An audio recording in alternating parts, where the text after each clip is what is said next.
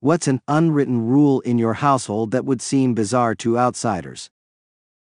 Growing up, there were always the better seats in the living room, and if you were lucky enough to claim one, you knew that getting up meant someone else might swoop in and take it.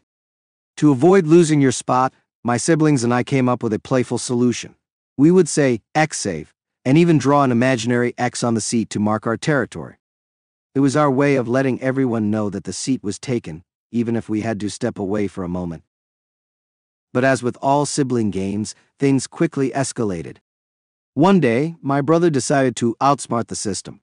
He pretended to have an imaginary eraser and erased the invisible X that had been drawn, then sat down in the comfy seat as if it had never been saved. Of course, this led to immediate protests and a new rule was born X save, no erase.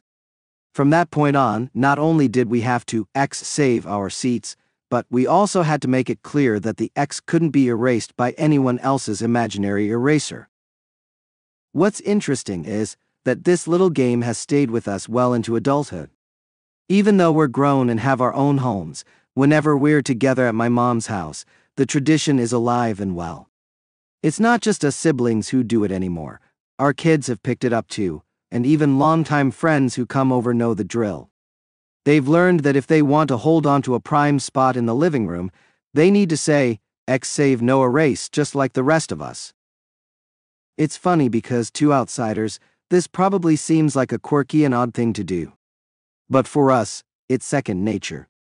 We don't even think about it, it's just what you do when you're at mom's house. There's something comforting and nostalgic about it, a small tradition that's tied to our shared memories and experiences. On holidays and family gatherings, you can bet we're all still keeping an eye out, ready to see if someone slips up and forgets to say it. These days, there are plenty of seats available, but the game continues. It's more about the fun of it, and the connection it brings than the need to actually save a seat. It's a little piece of our childhood that has followed us into adulthood, a tradition that has evolved, but never faded, and it's something that makes our family gatherings just a bit more special.